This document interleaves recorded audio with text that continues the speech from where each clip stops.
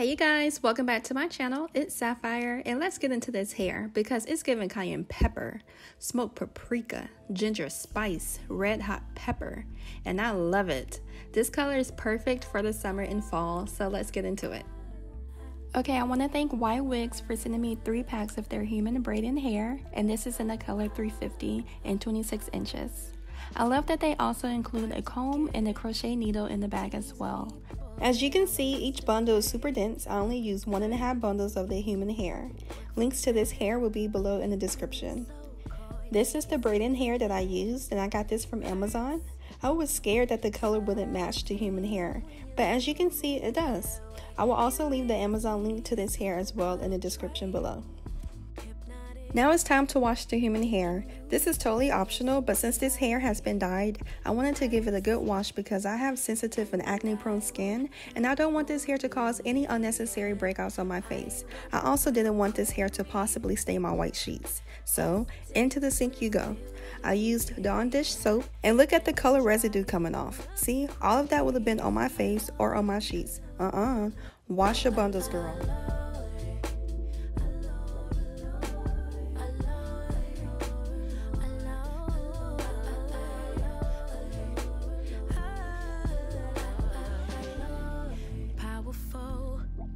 After washing and conditioning the hair, I added argan oil to the hair to add moisture and shine. I hung the bundles up and let them air dry. And this is how the bundles look after air drying for 8 hours. If you braid, then you need one of these braiding racks. It neatly holds the hair for you. Before I had one of these, I would place the hair pieces on my bed and would have hair all over my bed, child. But not anymore. This rack keeps the hair nice and organized and makes the braiding process go a little faster. I got this from Amazon and will leave the link to the one I'm using in the description. Okay, I'm starting out on freshly washed and blown out hair. I went ahead and got started off camera. I have a more detailed video of how I do my boho braids. I'm not a professional braider, I'm still learning, but I'm just trying to save $800 because that's how much some stylists are charging for knotless boho braids. And I'd just rather keep that $800 in my bank account,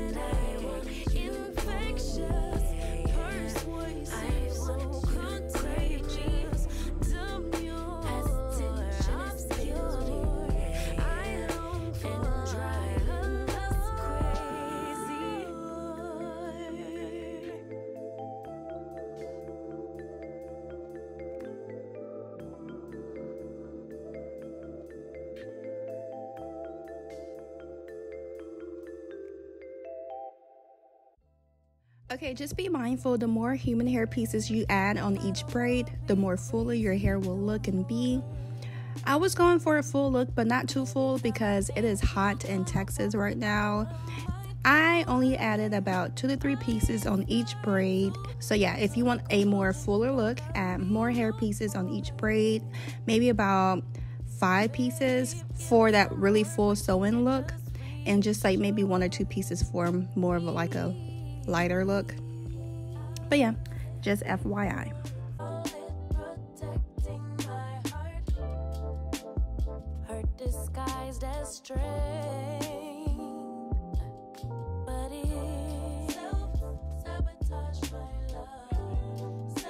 Alright, it's the next morning and I have only one row left.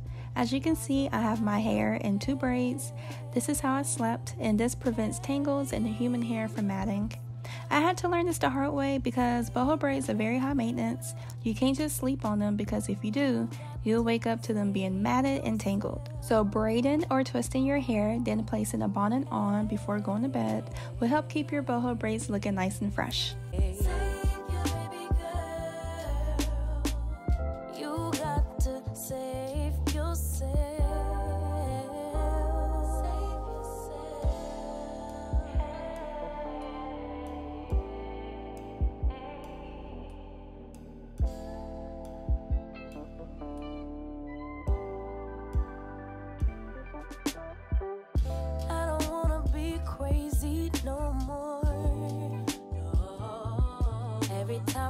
Question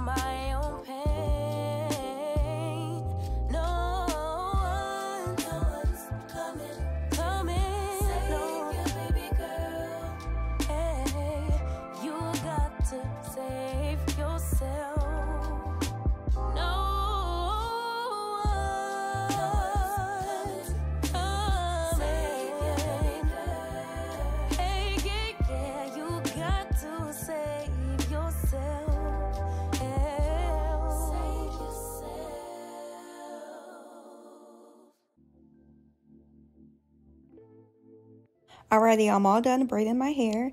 Make sure you cut those straggly hairs that are sticking out. So now it's time for me to prepare my braids to dip them. I normally go for curly ends by dipping my ends with perm rods, but this time I wanted my ends to be wavy. So I sectioned my hair into four and braided my hair halfway down.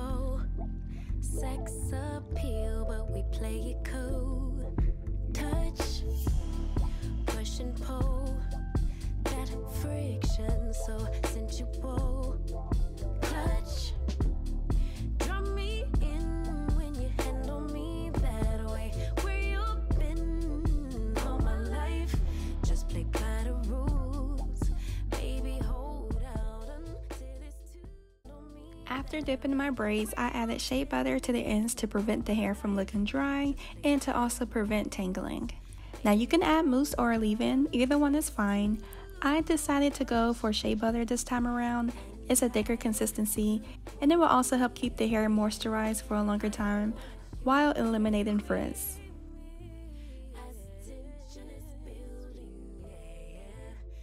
I apply the shea butter on the top parts where my natural hair is to help slick down any flyaways and to make sure my natural hair is moisturized.